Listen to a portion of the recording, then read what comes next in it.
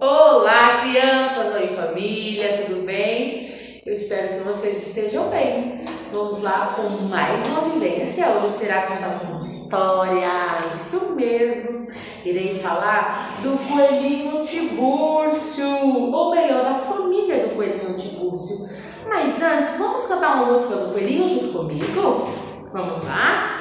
De olhos vermelhos, de pelos branquinhos, de passo ligeiro, eu sou coelhinho. Sou muito assustado, porém sou guloso. Por uma cenoura já fico manhoso. Eu pulo pra frente, eu pulo pra trás, dou mil cambalhotas, sou forte demais. Comi uma cenoura ela era, que fiquei barrigudo. E aí, vocês também gostam de cenoura? Vamos ouvir a história do coelhinho que gosta muito de cenoura? Então vamos lá junto com a prova. A família do coelhinho de curso. Eu vou utilizar este livro para contação de história, tudo bem?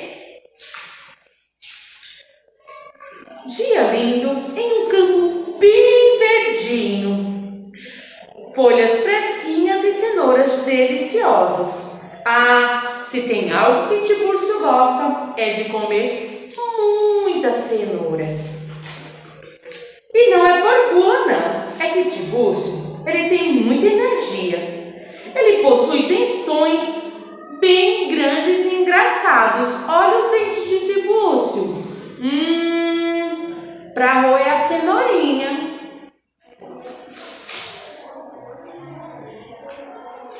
Dentes crescem muito, por isso ele faz o que mais gosta na fazenda.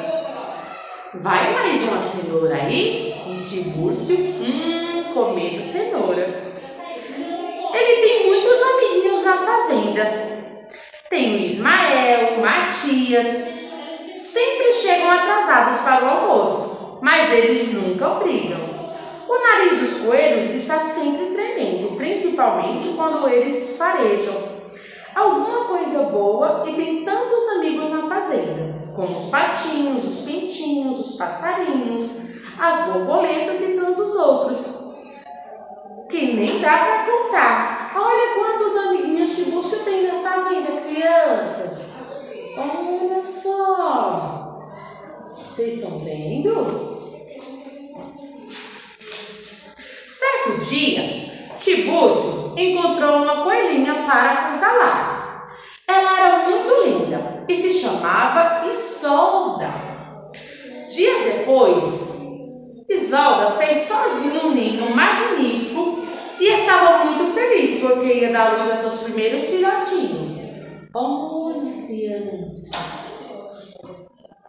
Tibúrcio e Isolda também precisavam ficar atentos aos filhotes.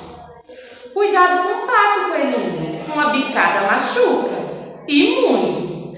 Tibus e Isolda se tornaram os coelhos mais felizes. Eram oito lindos filhotes para cuidar.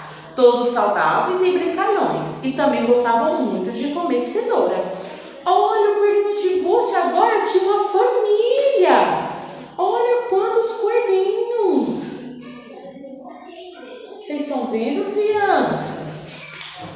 Mas filhotes de coelho cresceram tão depressa que Tibúrcio e Isolda nem vão precisar se preocupar com os deles por muito tempo.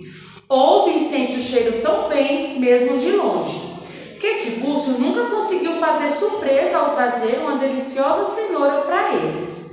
Eles gostam de cenoura também, os filhotinhos de Tibúrcio, olha só comendo cenoura. Os filhotes pegaram a mania de tribúcio e jamais largam as suas cenouras preferidas. Olha só, crianças! Então é uma família que gostava muito de comer cenoura. Você aí de casa também gosta? Vocês sabiam que a cenoura é muito, muito saudável? Ela tem muitos nutrientes vitaminas. Ah, e além disso, ela faz muito, muito bem. Para nossa saúde. Então você de casa tá comendo cenoura igual o coelhinho Tibúrcio? Hum, que legal! Então isso mostra que você é uma criança forte, uma criança saudável, né? uma criança com bastante energia. Isso mesmo, crianças. Então, vamos dar tchau pro Tibúrcio? Tchau, coelhinho Tibúrcio! Essa foi a nossa história de hoje, tá bom? Espero que vocês tenham gostado. Um beijo para vocês e tchau, tchau!